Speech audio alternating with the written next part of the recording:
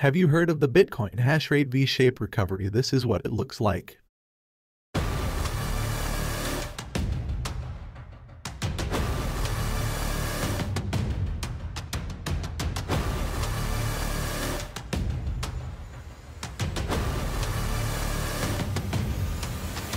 Bitcoin hash rate V-shaped recovery. The Bitcoin network's one-month implied hash rate saw almost four months of steady increases since the beginning of 2021, topping at 166 exahashes per second EH.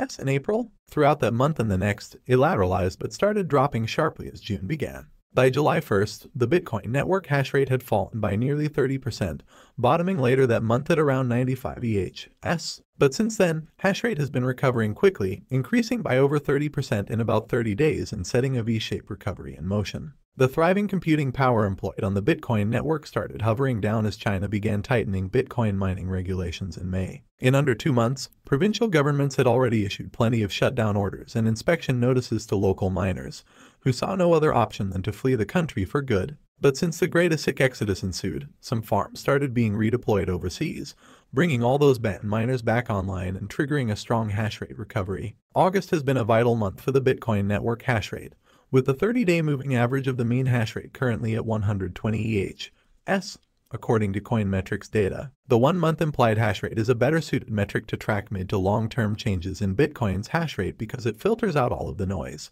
explained Lucas Nuzzi in his article for Bitcoin magazine. As big daily swings in hash rate are phased out, the 30-day implied hash rate provides a clear view for which direction hash rate is heading as a whole. Currently, it needs to increase only by around 38% to reach its all-time high. The 7-day moving average, another popular hash rate metric, is currently at 130 EH, as the highest it has been since June. In a true V-shaped recovery, the Bitcoin network hash rate has been successfully passing a severe stress test, showing it can recover from a ban by one of the world's biggest economies. Governed purely by free market principles, Bitcoin is indeed anti-fragile and impossible to be banned. Therefore, the true winners will be those countries that choose to adopt and welcome Bitcoin and its ecosystem rather than fight it and the sooner the better. Cryptocurrency investment More men than women invest in digital currencies Crypto New Media. TLDR Breakdown Research shows that over 50% of investors are men. Extent of cryptocurrency investment could be affected by gender discrimination. The crypto market represents a new financial model of the 21st century with a significant amount of investment regardless of gender. However, for the individuals investing in cryptocurrencies,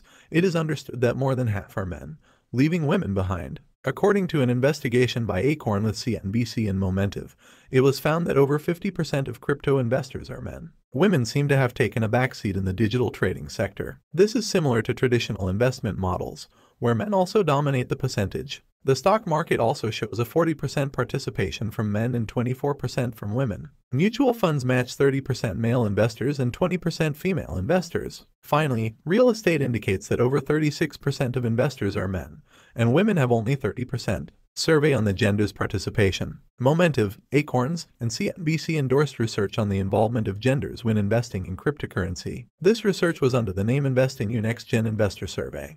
This survey began on the 4th of August and lasted only five days in which 5,530 Americans participated. 2,980 of those surveyed were found to have funds in bonds, stocks, cryptocurrencies, and ETFs. According to the survey, 11% of investors were white, and the same number for black participants. 10% of those surveyed were Hispanic, 14% Asian and investors from other races occupied 13% of the crypto market. Racial discrimination is present in crypto investments. Investing in cryptocurrency and other financial models has shown that racial discrimination still exists in North America regarding financial investments. According to research, less than 50% of women of color may invest in crypto, real estate, and stocks. This figure is tied to the information stating that only 51% of black women have a bank account. When a person of color, male or female, attempts to invest in cryptocurrency, there is a 50% chance of being accused of money laundering but only 20% of white people have been charged with the same crime. The research concludes by showing that no matter that the financial market has been renewed,